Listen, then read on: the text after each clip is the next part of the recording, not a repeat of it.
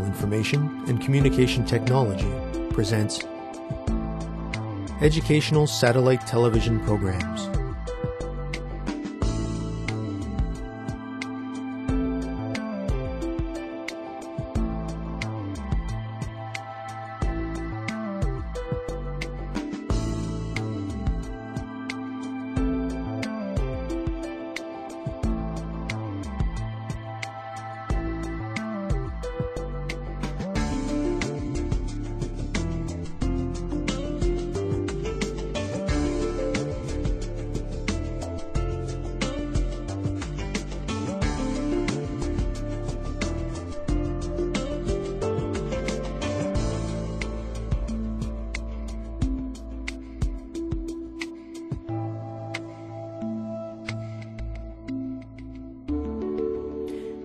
Hello, teacher. Hello, students. Welcome to today's lesson on fermentation.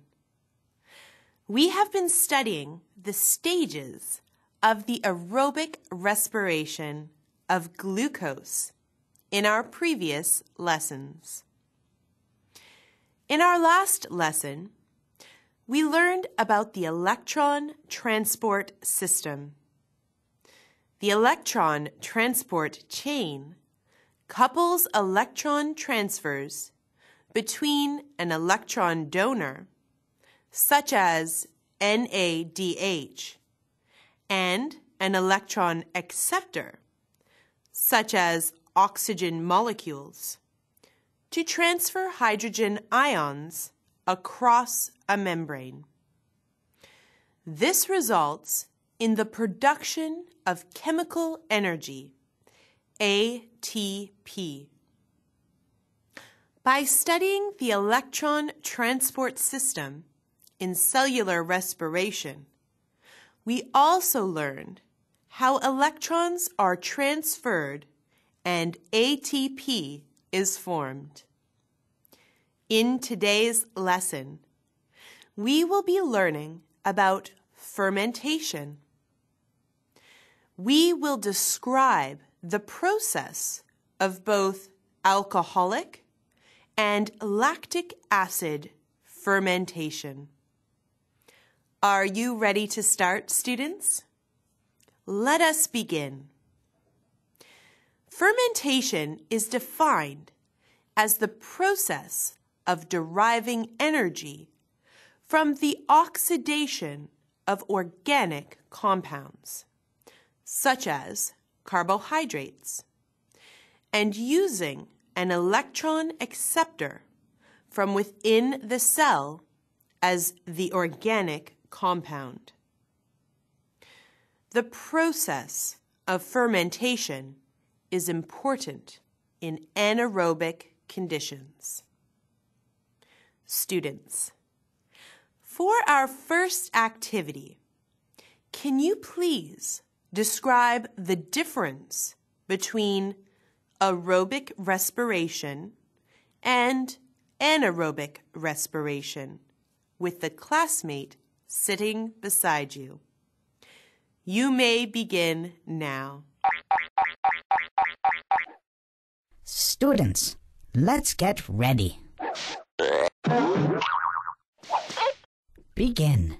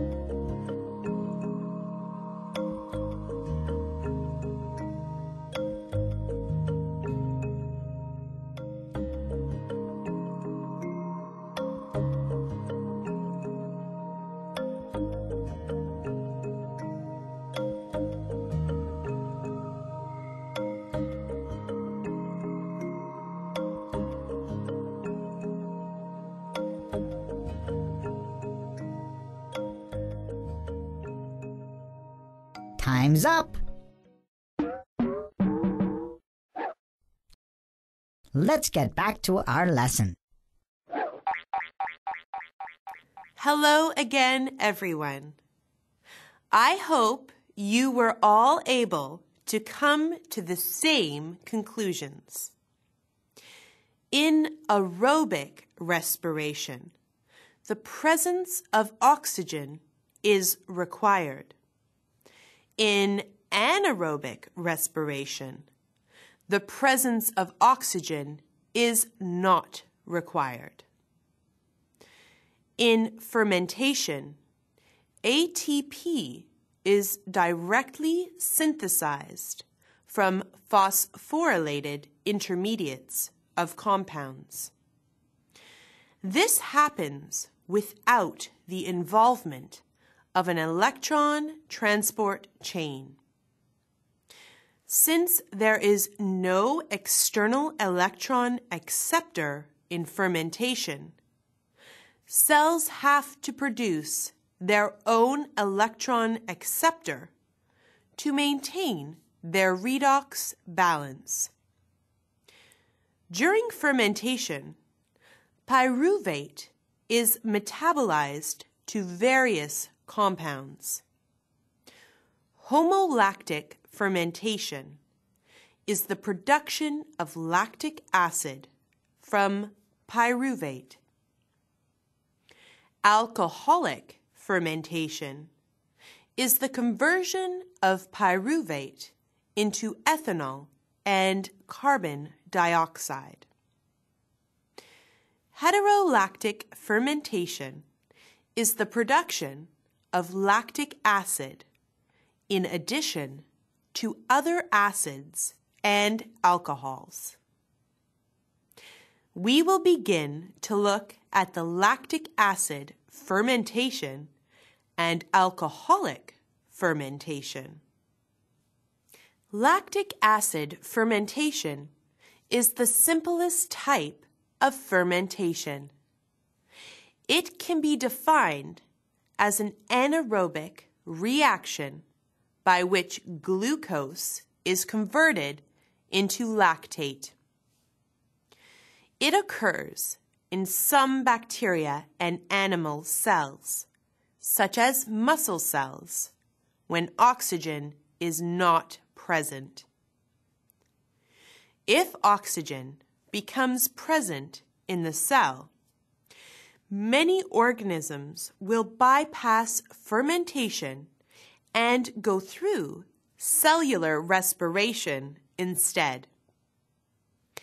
In homolactic fermentation, one molecule of glucose is converted to two molecules of lactic acid.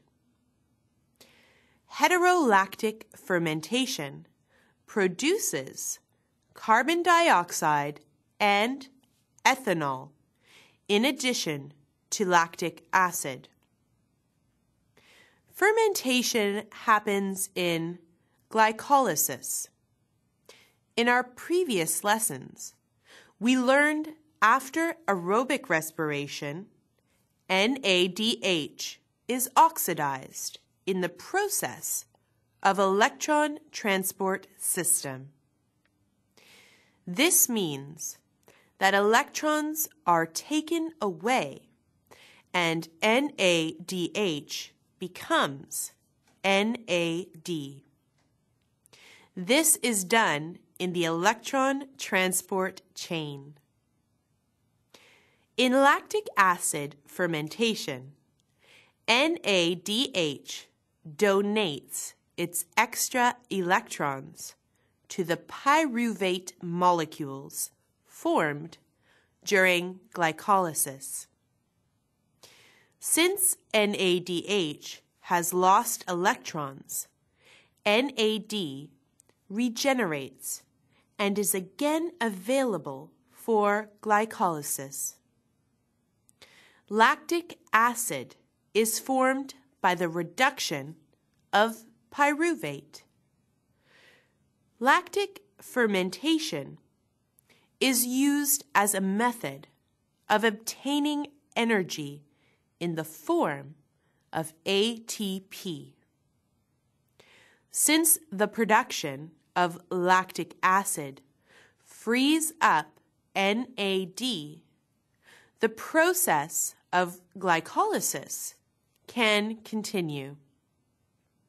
Lactic acid fermentation is also used in areas of the world to produce food that cannot be produced through other methods. One common application of lactic acid fermentation is the production of yogurt. Students, can you explain the differences between homolactic fermentation and heterolactic fermentation? Students, let's get ready. Begin.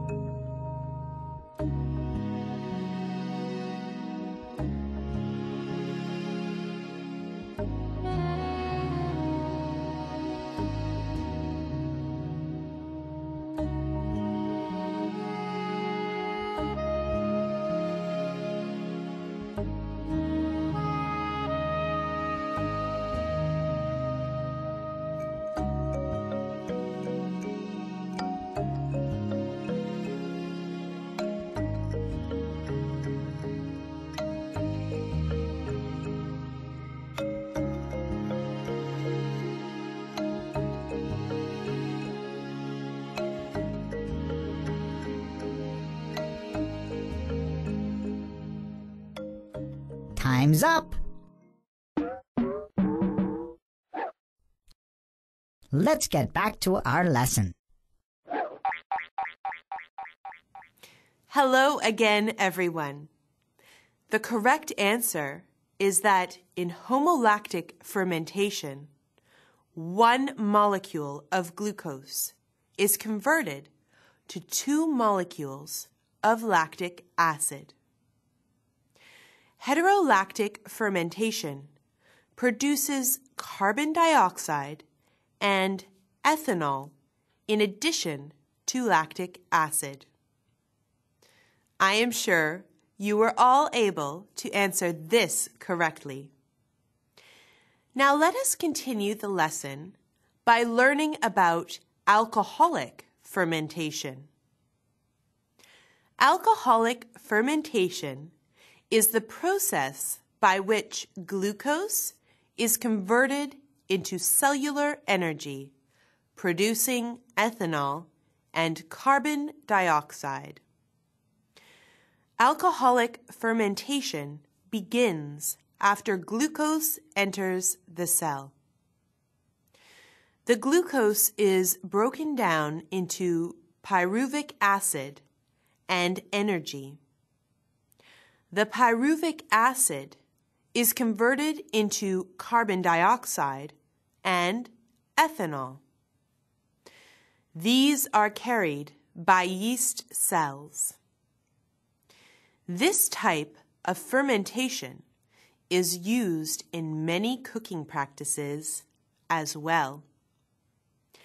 Some examples include the making of bread, beer, and wine. Students, as a review, explain the two fermentation processes that we have just learned about. You may discuss your answers with your classmates.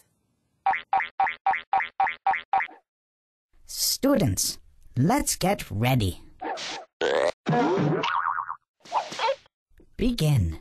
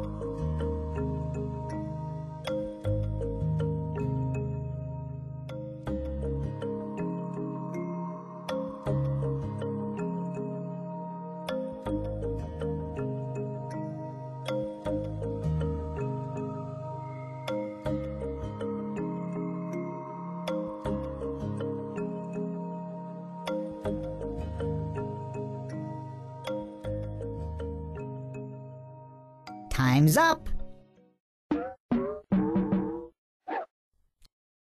Let's get back to our lesson. Welcome back, everyone. I hope you had a chance to discuss our new knowledge thoroughly with your classmates. Both lactic and alcoholic fermentation begins with pyruvic acid and NADH. They are both anaerobic processes that convert glucose into cellular energy in the absence of oxygen. However, the products of the two types of fermentation are different. Lactic fermentation produces lactic acid and NAD while alcoholic fermentation produces ethanol, carbon dioxide, and NAD. We have reached the end of our lesson, students. In this lesson, we have learned about lactic acid fermentation and alcoholic fermentation. Until next time, thank you, teacher. Thank you, students.